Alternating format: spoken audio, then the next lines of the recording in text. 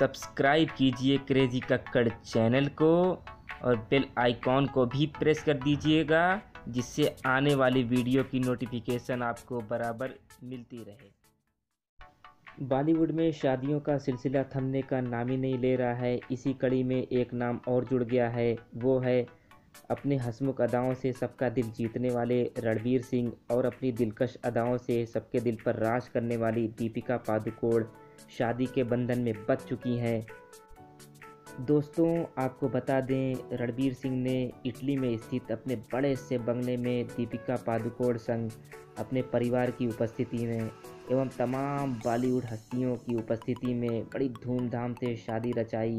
जिस समय इनकी शादी हो रही थी, उस समय रणबीर सिंह ने रेड कलर की शेरवानी पहन रखी थी। वहीं दूसरी तरफ़ दीपिका पादुकोण थी रेड कलर की साड़ी में बड़ी आकर्षक दिख रही थी।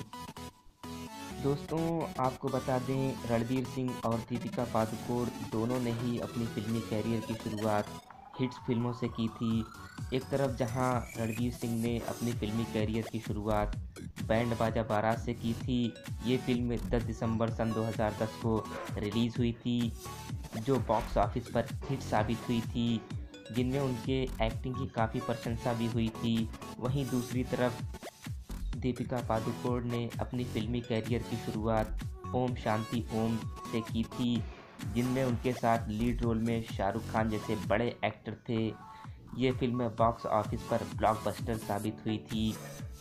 ये फ़िल्म 7 नवंबर सन 2007 को इंडिया में रिलीज़ की गई थी। तो गाइज़ आज की इस वीडियो में बस इतना ही। अगर वीडियो आपको पसंद आई हो तो आप वीडियो को कर देना लाइक और आप हमारे चैनल को कर देना सब्सक्राइब। बगल में बेल आइकॉन होगी। आप उसे भी प्रेस कर देना, जिससे हमारे आने वाली वीडियो की नोटिफिकेशन आपको बराबर मिलती रहे। तो गाइज़ मिलते हैं हमारे नेक्स्ट वीडियो में। तब तक के लिए take care tata and bye bye दोस्तों।